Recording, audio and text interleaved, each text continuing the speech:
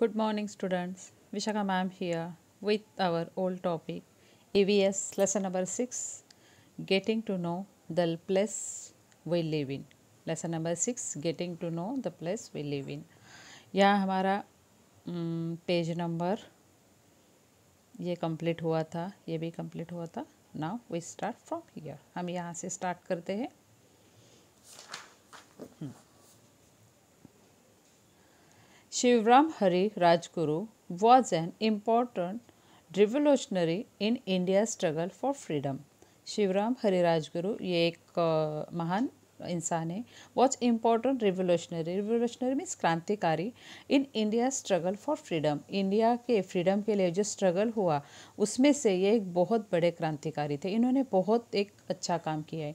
He was one of the three famous revolutionaries he was one of the three famous revolutionaries Bhagat Singh Rajguru and Sukhdev Bhagat Singh Rajguru और सुखदेव इनमें से ये एक famous रिवोल्यूशनर्स थे। मतलब इन्होंने बहुत अच्छा क्रांतिकारी काम किया है। Rajguru was born in Khed in Pune district Pune district में इनका जन्म हुआ कहाँ? खेड़ में। After elementary education he move to Amravati there at move to Amravati elementary pass करने के बाद वो अमरावती मूव हो गए।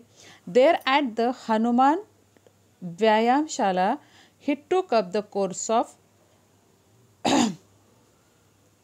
he took up the course of patriotisms means देशभक्ति at fifteen years of age he went to Banaras to study Sanskrit Sanskrit सीखने के लिए वो fifteen years of age he went to Banaras He knew several languages such as Marathi, Sanskrit, Hindi, Urdu, and English.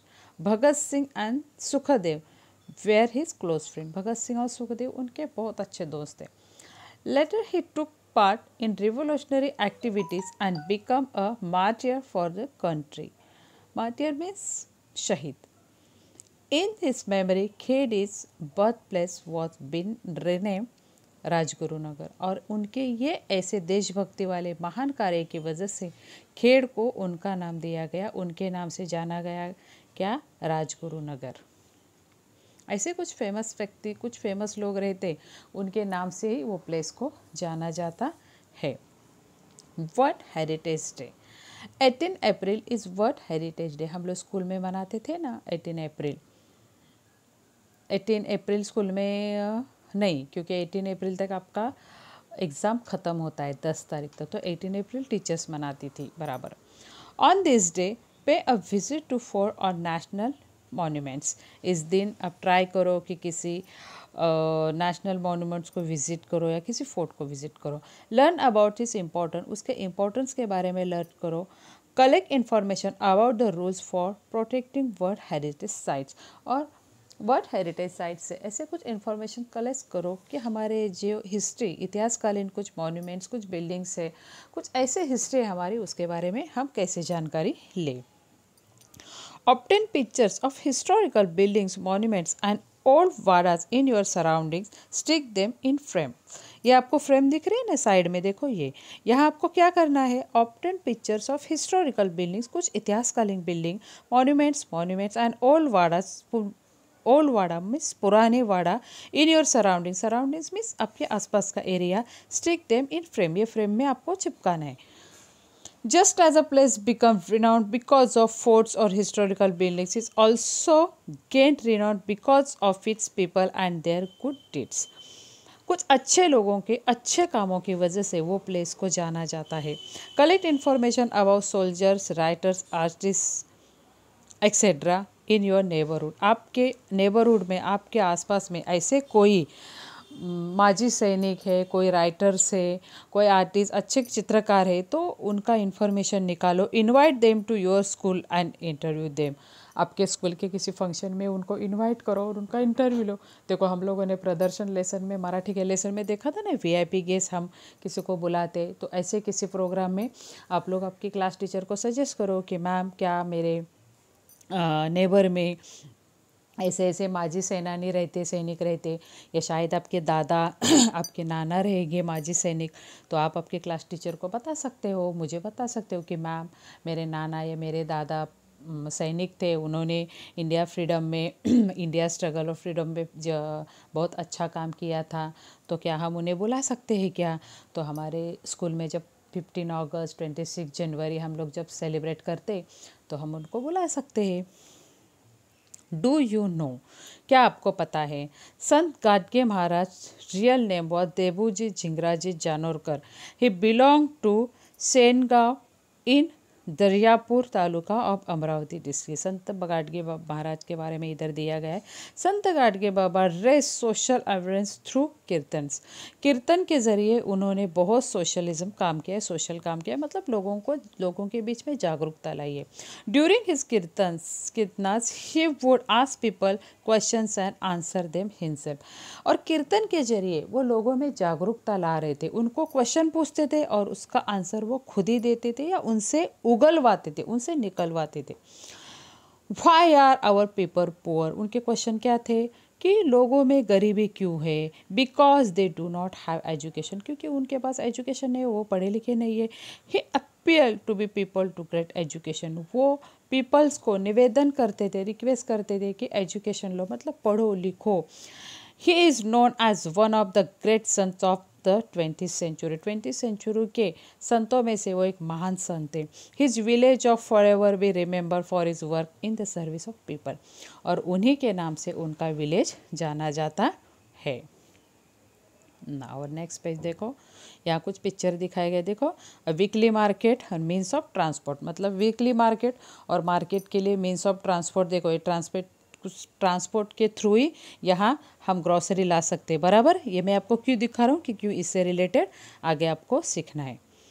Try this, ये आपको try करना है। Visit a weekly market and meet a shopkeeper shopkeeper there, interview her him with the help of the following questions. Weekly market में आपको visit करना है, जाना है, वहाँ शॉप कीपर हो लेडी हो जेंट्स हो, उससे मिलना है और उससे कुछ पूछना है। क्या पूछना है देखो how many years how many years have you been in this occupations occupations means work काम। आपके, आपको कितने साल हो गए आप ये काम कर रहे हो? ये क्वेश्चन आपको पूछना है। Which item do you sell in your shop आपके शॉप में आप क्या क्या आइटम बेचते हो? क्या क्या बेचते हो? Where do we get this item from ये आपको कहाँ से मिलता है? ये आपको क्वेश्चन पूछना है। What means of transport are use to carry the goods ये सब सामान लाने के लिए आप कौन सा ट्रांसपोर्टिज्म कौन सा ट्रांसपोर्ट का साधन आप यूज़ करते हो? ये क्वेश्चन आपको पूछना है वो शॉपकीपर से। People in village are depend on weekly market for his daily need देखो, हम लोग सिटी में रहते हैं तो सिटी में हमें इतना प्रॉब्लम नहीं आता, लेकिन जो विलेज में रहने वाले विलेजर्स रहते हैं, उनको वीकली मार्केट बहुत इंपॉर्टेंट होता है। वीकली मार्केट में वो अपने पूरे हफ़्ते के लिए लगने वाले जो डेली चीज़ें डेली थिंग है, वो वो बाय करते हैं।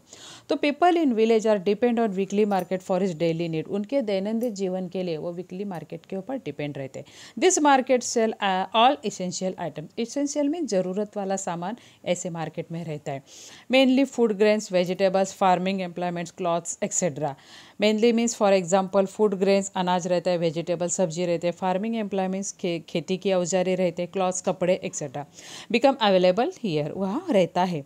The market is also the place where people can meet one another and enquire about each other wellbeing the market is also the place market एक ऐसी जगह है जहाँ पीपल एक दूसरे से मिलते हैं और इंक्वायर मीन्स वो एक दूसरे की इंक्वायरी करते हैं, एक दूसरे की पूछताछ करते हैं। About each other wellbeing मतलब एक दूसरे के सुख दुख के बारे में वो लोग पूछताछ करते। आपको कभी एक्सपीरियंस आया है क्या?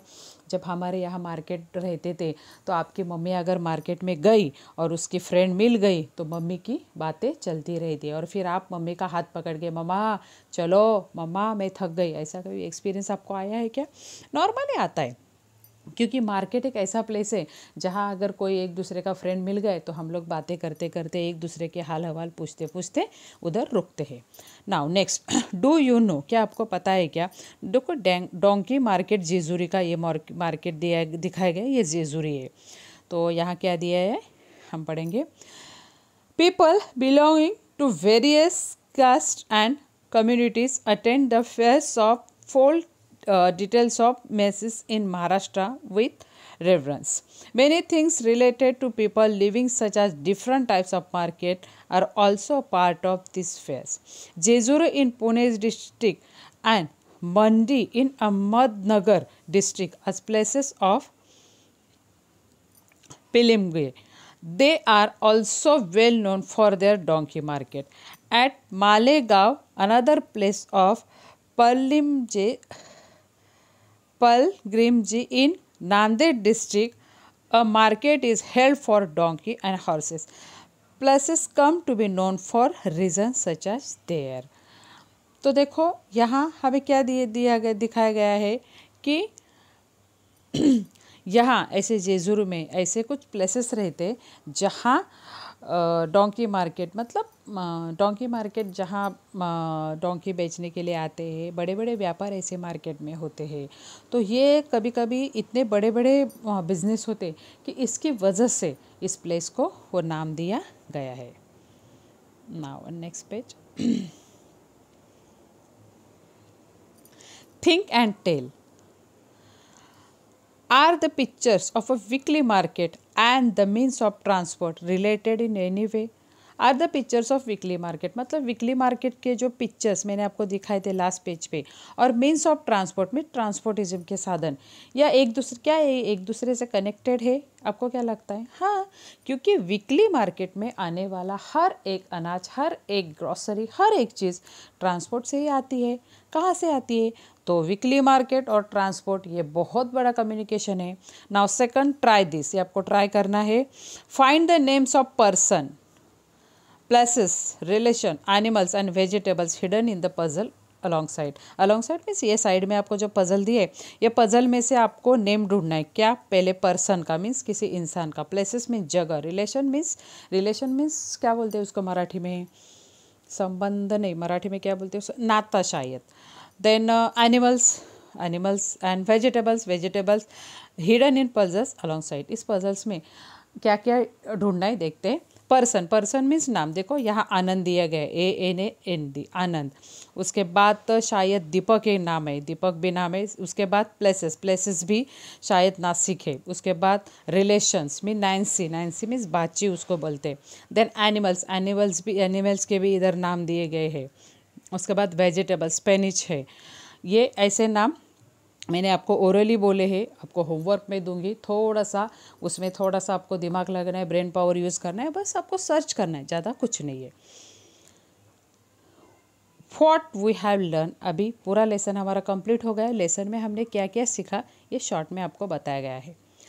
Many settlements much together and form a village many settlement much together and form a village many settlement मतलब बहुत सारे लोग एक साथ आते हैं एंड फॉर्म अ विलेज और उससे एक विलेज बनता है।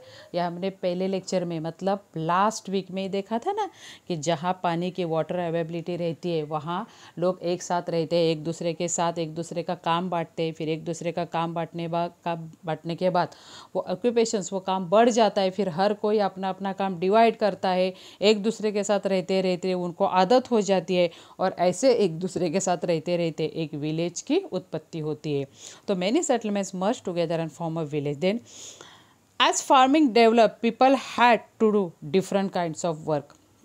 अभी मैंने यही आपको बताया एज फ़ार्मिंग डेवलप जैसे खेती डेवलप हो गई people had to people had to do different kinds of जैसे खेती बढ़ गई पीपल के पास काम करने के लिए बहुत सारा काम बढ़ गया. People had to do people के पास बहुत सारा आ गया क्या? डिफरेंट काइंड ऑफ़ बहुत सारा तरह का काम आ गया. जैसे फ़ार्मिंग बढ़ गई, वैसे पीपल के हाथ में बहुत सारा काम आ गया. देखो, मैंने बोला था ना फ़ार्मिंग एम्प्लॉयमेंट्स बनाने का काम, फिर क्लॉथ विविंग उसके बाद तो ज्वेलर्स ये ऐसे काम उनके पास बढ़ गए. Some places become known for their historical buildings ये आपने अभी लिखा। Some places become known for their historical buildings historical means इतिहासकालीन, अच्छे बिल्डिंग की वजह से कुछ सिटी जाने जाते हैं। जैसे रायगढ़, अभी देखा ना हमने। A places gets with renown from its people and their important dates वैसे ही प्लेसेस हिस्टोरिकल बिल्डिंग की वजह से, जैसे प्लेसेस का नाम होता है, वैसे ही कुछ लोग, जो क्रांतिकारी थे रिवोल्यूशनर्स थे, उनकी वजह से, उनके अच्छे काम की वजह से, वो जगह को भी उनका नाम दिया गया, जैसे Rajguru Nagar essential items are available in market और इसेंशियल आइटम मीन्स में ज़रूरत के सामान मार्केट में अवेलेबल होते। देखो, चार ही पॉइंट है। वन टू थ्री पाँच पॉइंट है, लेकिन पाँच पॉइंट में आपको पूरा लेसन बताया गया है।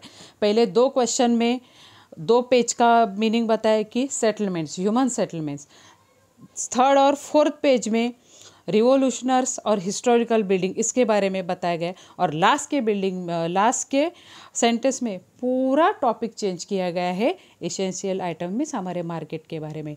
हमारा ई e टॉपिक ही ऐसा है कि आपको जनरल नॉलेज जितना जनरल नॉलेज दिया जाए, उतना ये बुक्स थ्रू कम है।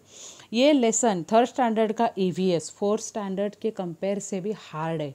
लेकिन आपको जितना नॉलेज लेना है, उतना नॉलेज ये टॉपिक से लेना है okay exercise now we solve question and answer बहुत कम है। Getting to know the place we live in, getting to know the place we live in. Answer the following question in one sentence. Which buildings can be seen in a town? And your answer a town has buildings such as temples, caves, mosques, church, memories, ports, museums, etc. Second, what makes a town famous? And your answer historical buildings, religious place, fair, ports, markets, remarkable peoples, etc. for a towns make a town famous. Then fill in the blanks. Dash dash is known for Fort Raigad. Dash dash is known for Fort Raigad and your answer Raigad is known for Fort Raigad. Then second people in a village are depend on the dash dash market for their daily needs and your answer people in the village are depend on the weekly market for their daily needs. Now students here we complete our lesson number 6. Lesson number six getting to know the place we live in with question and answer इसके question and answer बहुत कम थे, लेकिन मैं फिर भी आपसे कहूँगी कि ई e का जो आपको पेपर आता है, वो ई e का पेपर आपको क्वेश्चन एंड आंसर के ऊपर नहीं आता। मतलब इसके जो पीछे क्वेश्चन एंड आंसर है, जो अभी मैंने सॉल्व किए, अभी आपको दिख रहे, ये क्वेश्चन एंड आंसर आपके एग्ज़ाम में आते नहीं है। आपका पेपर आपके लेसन से रिलेटेड रहता है। आपके लेसन के जो छोटे छोटे छोटे छोटे पॉइंट्स है कि जैसे बॉक्स के पॉइंट में आपको डिस्कस करवाती हूँ, कुछ अलग पॉइंट्स में आपको एक्स्ट्रा नॉलेज आपको बताती हूँ। इसी बेस पे आपका ई e का पेपर आता है। इसलिए मैं आपको बार बार यही बोलूँगी कि रीड योर लेसन केयरफुली आपका लेसन केयरफुली आपको रीड करना है। क्वेश्चन एंड आंसर तो आपको देखना ही है, लेकिन ज़्यादा इंपॉर्टेंस देना है, ज़्यादा प्रिफरेंस ज़्यादा मेनली स्ट्रांगली पढ़ना है, वो है आपका lesson. Okay? Now students here we stop. Next time we will meet with our new topic lesson number 7 our village our city. tab tak stay home eat healthy and work from home. Bye bye